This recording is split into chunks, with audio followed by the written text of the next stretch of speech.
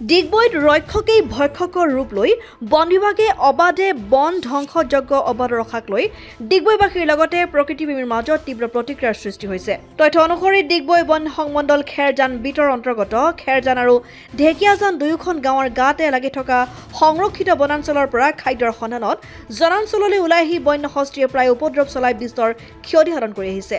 বন্যহস্তীৰ উপদ্ৰৱৰ পৰা পৰিত্ৰাণ দিবলৈ ডিগবৈ বন বিভাগে সংৰক্ষিত বনাঞ্চলৰ কাষত কাঁটা তাঁৰৰ বেৰা নিৰ্মাণ কৰাৰ লগতে বন্যহস্তীৰ খাদ্যৰ বাবে বিভিন্ন প্ৰজাতিৰ গছ ৰোপণ কৰিছে যদিও ডিগবৈ বন সংমণ্ডলৰ দায়িত্বত থকা প্ৰাধিকাৰী বন বিষয়া টি চি ৰঞ্জিত ৰাম আৰু আঞ্চলিক বন বিষয়া চুমি দেউৰীৰ নেতৃত্বত জনসাধাৰণৰ সুৰক্ষাৰ বাবে কৰা কামত ৰক্ষকেই ভক্ষকৰ ভূমিকা লোৱাৰ তথ্য পোহৰ লাগিছে অভিযোগ অনুসৰি বৰ্তমানো চলি থকা কাঁটা তাঁৰৰ বেৰা নিৰ্মাণ কামত তদাৰকী কৰি থকা ডিগবৈ আঞ্চলিক বন বিষয়া চুমি দেউৰীয়ে বনাঞ্চলৰ বহু মূল্যৱান গছ কাটি আনি বেৰা নিৰ্মাণৰ খুঁটাত ব্যৱহাৰ কৰি অহাৰ অভিযোগ উঠিছে। বনাঞ্চলৰ বহু মূল্যৱান গছ হিচাপে পৰিচিত নাহৰ আজাৰ লিচুকে আদি কৰি বিভিন্ন প্ৰজাতিৰ গছৰ পুলি কাটি আনি প্ৰায় এক কিলোমিটাৰ দৈৰ্ঘ্যৰ বেৰা নিৰ্মাণত ব্যৱহাৰ কৰাৰ উপৰি বহু সংখ্যক মূল্যৱান গছ পুলি কাটি ঢেকীয়াজান খ্ৰীষ্টান বস্তি পথৰ কাষত দমাই ৰখাক লৈ সমাজ সচেতন ব্যক্তিৰ লগতে প্ৰকৃতিপ্ৰেমীয়ে তীব্ৰ সমালোচনা কৰিছে।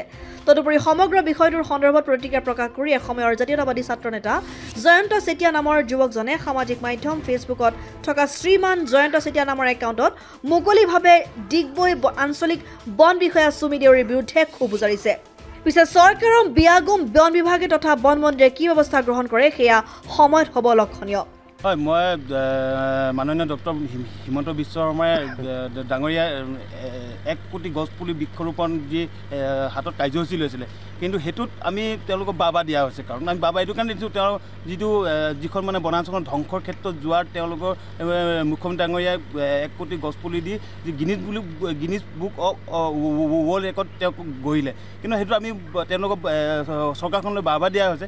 কিন্তু দেখিবলৈ পোৱা গৈছে প্ৰায় তিনি চাৰিদিনৰ আগত যি আঞ্চলিক ডিগবৈ আঞ্চলিক বন বিষয়াৰ আহ, সুমি দেউৰীৰ নেতৃত্বত ডাঙৰ ডাঙৰ মূল্যৱান গছ কাটি তেওঁ যিটো ফেঞ্চিঙৰ যিটো আপোনাৰ আহ, ঢেকীয়াজান খেৰজান অঞ্চলৰ যিটো আপোনাৰ এলিফেণ্ট কৰিডৰ যিটো আপোনাৰ হাতী সুৰক্ষাৰ মানে ৰাই- ৰাইজৰ কাৰণে যি ড্ৰেইন খান্দিছিলে।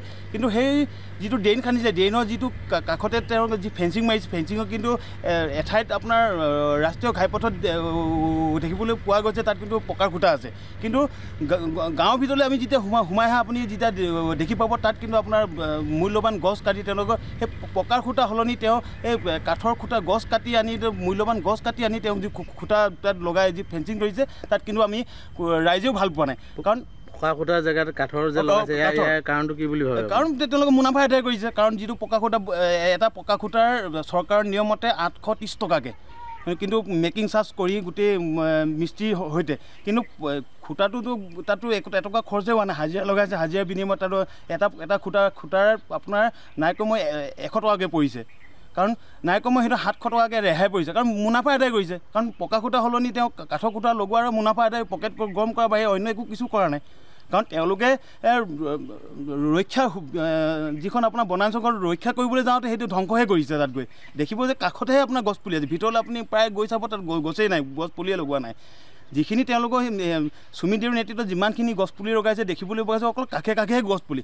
কিন্তু আপুনি ভিতৰলৈ যেতিয়া নেকি যাব সেই গছ গছ কি- পুলি কিমান দূৰ এনেকৈ আপোনাৰ কাঠৰ খুটা লগাইছে প্ৰায় ডেৰ কিলোমিটাৰ লগালে কাঠৰ খুঁটা আৰু প্ৰায় আপোনাৰ গোটেই আপোনাৰ ঢেকীয়া কি গছ কাটিছে ইয়াত? অঁ দেখিবলৈ পোৱা গৈছে চপা শিলিখা আৰু আপোনাৰ এইটো আপোনাৰ লিচু বিভিন্ন ধৰণৰ মূল্যৱান যি গছ নাহৰ গছ দেখিবলৈ পোৱা গৈছে। কালি মই প্ৰায় আহি চাওঁতে এটা নাহৰ গছ আৰু শুনিব পোৱা গৈছে বৰ্তমান কিছুমান গছ পুলি তেখেতসকলে প্ৰতিক্ৰিয়া প্ৰকাশ হোৱাৰ পাছত লুকুৱাই ৰাখিছে লুকুৱাই ৰাখিছে নিশ্চয়। হয় তেওঁলোকে য'ত ৰাখিছিলে ৰাস্তাৰ কাষত কিন্তু আঁতৰাই কিনে এটা মানুহৰ ঘৰৰ পাছফালে এইখিনি বন বিভাগৰে কৰিছে হয় তেওঁলোকে নিজে এ, বন বিভাগে কিন্তু যিখিনি মানে কৰ্মৰত যিখিনি মানুহ তেওঁলোকে লেবাৰ ৰাখিছিলে তেওঁলোকক মানে ফোনে যোগেদি কৈ কিনে তেওঁ আঁতৰাই আঁতৰাই থ'ব গ'লে তেওঁলোকে আঁতৰাই ৰাখিছে।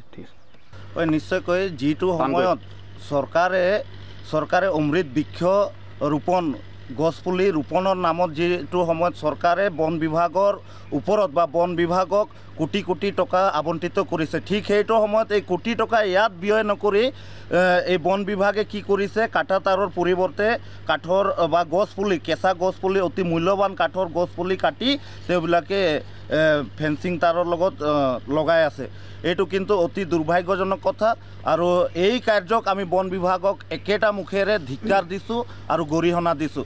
আৰু আমি এটা কথা স্পষ্ট আকাৰে ক'বলৈ বিচাৰিছোঁ যে যিহেতু এই ঢেকীয়াজান খেৰজান বয়া গঞা ৰাইজে যিটো সময়ত ফেঞ্চিং তাৰৰ বাহিৰত যদি গৰু বান্ধিব বিচাৰে গৰু ছাগলী যদি বান্ধিব বিচাৰে তেওঁবিলাকক কিন্তু খেদাই পঠায় আৰু মানসিকভাৱেৰে সিহঁতক হাৰাশাস্তি কৰে। আৰু যিটো সময়ত শুকান কাঠ বা খৰিৰ কাৰণে আনিবলৈ যায় গঞা ৰাইজে তেতিয়া খৰি আনিবলৈ কিন্তু মানা কৰে।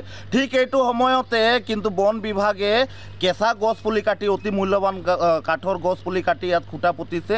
এইটো কিন্তু আমি কেতিয়াও মানি ল'ব নোৱাৰি। সেয়ে আমি সেয়ে আমি এটা কথা ক'ব বিচাৰিছোঁ অসম অসমৰ মাননীয় মুখ্যমন্ত্ৰী ডক্টৰ হিমন্ত বিশ্ব শৰ্মা ডাঙৰীয়াক আৰু বন মন্ত্ৰীক গৰাকীক আমি ক'বলৈ বিচাৰিছোঁ যে ডিগবৈ আঞ্চলিক বন বিষয়াগৰাকীৰ ওপৰত অতি শীঘ্ৰে বিহিত ব্যৱস্থা গ্ৰহণ কৰক। যদি তেখেতৰ ওপৰত বিহিত ব্যৱস্থা গ্ৰহণ নকৰে তেতিয়াহ'লে এই এই আমাৰ খেৰজান ঢেকীয়াজান অঞ্চলৰ ৰাইজ ওলাই কিন্তু গণতান্ত্ৰিকভাৱে আন্দোলন কাৰ্যসূচী ল'বলৈ বাধ্য হ'ম। ডিগবৈৰ পৰা ৰাজু হাজৰিকা ৰিপৰ্ট অসম আদিত্য।